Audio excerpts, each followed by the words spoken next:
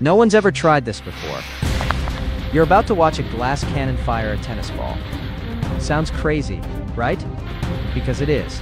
One spark, and this whole thing could either launch or completely explode.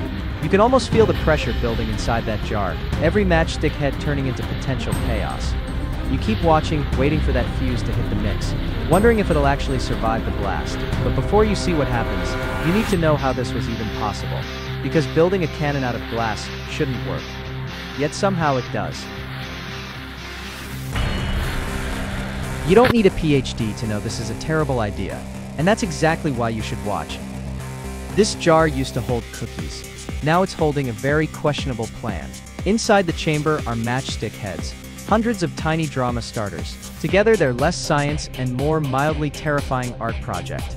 Look at it sitting there, all innocent. It's the kind of thing that makes your common sense whisper. Maybe don't, while your brain screams, do it for the video. You're here for that tension, that tiny voice that says this shouldn't exist, but also kinda wants to see what happens when it does. It's the same energy as the guy who built a robot that throws cheese slices at him every morning, not because it's useful but because it could be done. Or the person who made a drone that follows their cat around just to play dramatic music whenever it jumps on furniture. There's no reason behind it, except pure chaotic curiosity.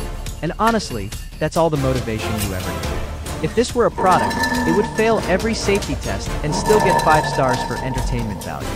It's gloriously dumb, dangerously creative, and perfectly tuned for one explosive moment of chaos, and you know you want to see it. Now don't get me wrong, this looks reckless, because it is. Don't try this at home. Seriously, no one needs a fireball and a trip to the emergency room. But while you're here, enjoy the absurdity, the jar that once held cookies, now plotting to launch a tennis ball into orbit.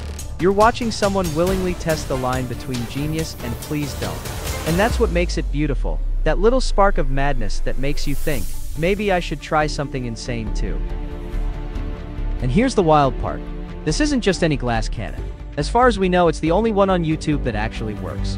People have built glass launchers before, but they all end the same way.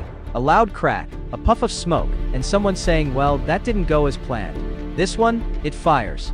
A real tennis ball, powered by matchstick heads, out of a cookie jar cannon. So if you ever wondered what impossible looks like in slow motion, you're about to find out.